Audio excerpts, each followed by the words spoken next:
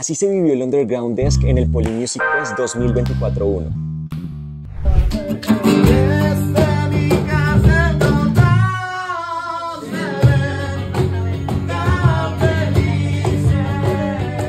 Bueno, profe, ¿por qué crees que este tipo de eventos son importantes para los estudiantes del Poli?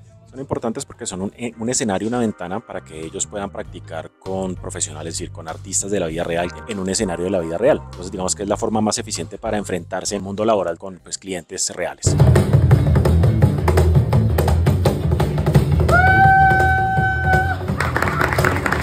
espacio perfecto para conectar con personas de una manera más cercana, los fans. Digamos que me sentí, sentí muy cómodo, muy abierto, las personas estaban súper calurosas, cálidas. Es muy interesante cómo manejar esa perspectiva, ¿no? Siempre uno busca como públicos grandes o hacer shows más movidos, y este es un show más personal en el que puedes conectar de una manera diferente. Describe en una palabra lo que viviste en el Underground Desk.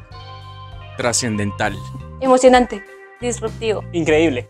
Único. Cercano. Sensitivo. Innovador. Increíble. Una chimba. No se les olvide encontrarnos en redes sociales como M108 o en cualquier plataforma digital como Mourila108.